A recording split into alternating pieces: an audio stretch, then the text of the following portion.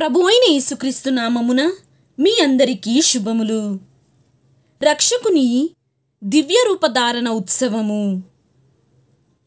అతని వస్త్రములు మంచు వలె తెల్లగా నుండెను.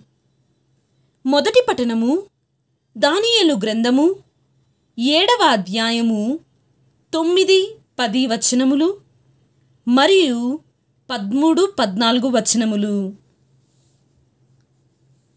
నేను చూచుచుండగా సింహాసనమును అమర్చిరి. శాశ్వత జీవి ఒకడు గద్దెపై ఆసీనుడయ్యెను. అతని వస్త్రములు మంచు వలె తెల్లగా నుండెను. తల వెంట్రుకలు తెల్లని ఉన్ని వలె నిర్మలముగా నుండెను. అగ్ని చక్రములపై నున్న అతని గద్దె ఆనల జ్వాలలతో మండుచుండెను. ఆ గద్దె నుండి అతని ఎదుట నుండి అనల ప్రవాహము పారుచుండెను. వేనవేళ బంటులు అతనికి ఊడిగము చేయుచుండిరి. లక్షల కొలది సేవకులు అతని ఎదుట నిలుచుండిరి. అంతటి న్యాయస్థానమున పని ప్రారంభము కాగా గ్రంథమును విప్పిరి. నేను ఆ రాత్రి చూచిన దృశ్యమున? నరపుత్రుని వంటివాడు మేఘావృతుడై వచ్చుటను గాంచి తిని. అతడు ఆ శాశ్వత జీవి దగ్గరికి రాగా అతనిని ఆ శాశ్వత జీవి ఎదుటికి కొనిపోయిరి. ఆ నరపుత్రుడు పరిపాలనమును కీర్తిని రాజ్యాధికారమును బడసెను. సకల దేశములకు జాతులకు భాషలకు చెందిన ప్రజలు అతనికి దాసులయిరి అతని పరిపాలనము శాశ్వతమైనది. అతని రాజ్యమునకు అంతము ఉండదు. ఇది ప్రభువు వాక్కు సర్వేశ్వరునికి వందనములు.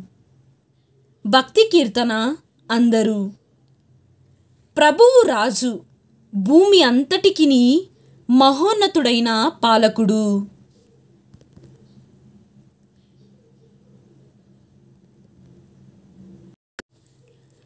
కనులారా మేము ఆయన గొప్పతనమును గాంచితిమి. రెండవ పట్టణము పునిత పేతురు రాసిన రెండవ లేఖ ఒకటవ అధ్యాయము పదహారవ వచనము నుండి పంతొమ్మిదవ వచనం వరకు.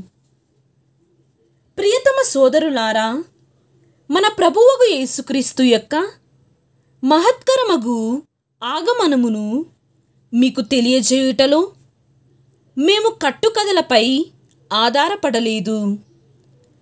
మా కనులారా మేము ఆయన గొప్పతనమును గాంచితిమి.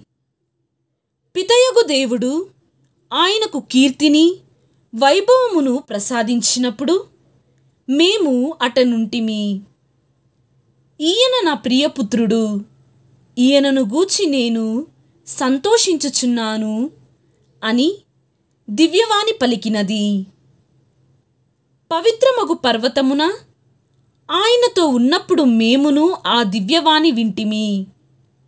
కనుకని ప్రవక్తల ప్రబోధమందలి సందేశములను మరింత అధికముగా మనము నమ్ముచున్నాము. దానిని శ్రద్ధతో ఆలకించుట మీకును మంచిది. ఏలన ఉషకాలమున వేగు చుక్క మీ హృదయమును వెలుతురుతో నింపు వరకు అది అంధకారమున వెలుగుచున్న దీపిక వంటిది. ఇది ప్రభుని వాక్కు. సర్వేశ్వరునికి వందనములు. హలిలూయ వచనము.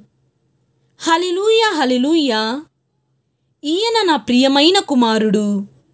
ఈయనను గూచి నేను ఆనందభరితుడనైతిని. ఈయనను ఆలకింపుడు. హాలిలుయా.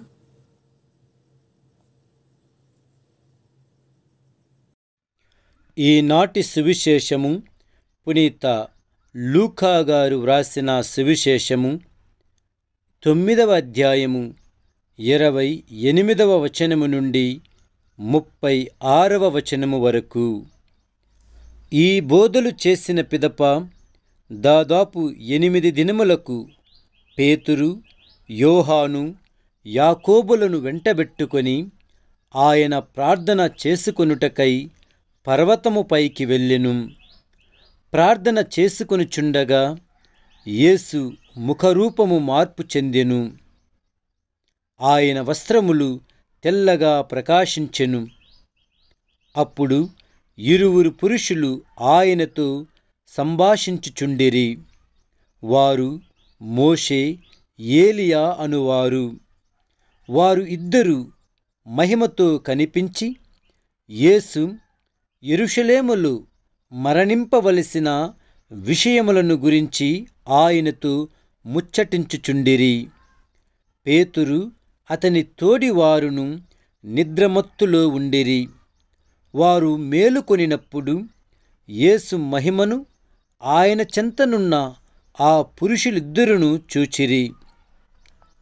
వారు ఇద్దరు ఆయన యొద్ద నుండి వెళ్ళిపోవుచుండగా పేతురు ప్రభు మనము ఇచ్చట ఉండుట మంచిది. ఒకటి మీకు ఒకటి మోషేకు ఒకటి ఏలియాకు మూడు పర్ణశాలలను నిర్మింతుము అని తాను పలుకున్నది తనకే తెలియక మాటలాడుచుండెను. అతడు ఇట్లు పలుకుచుండగా ఒక మేఘము ఆ శిష్యులను క్రమ్ముకొని వారిని ఆవరించెను. అప్పుడు వారు భయపడిరి. ఆ మేఘము నుండి ఒక వాణి ఈయన నా కుమారుడు. నేను ఎన్నిక చేసుకునినవాడు. వాడు ఈయనను ఆలకింపుడు అని వినిపించెను.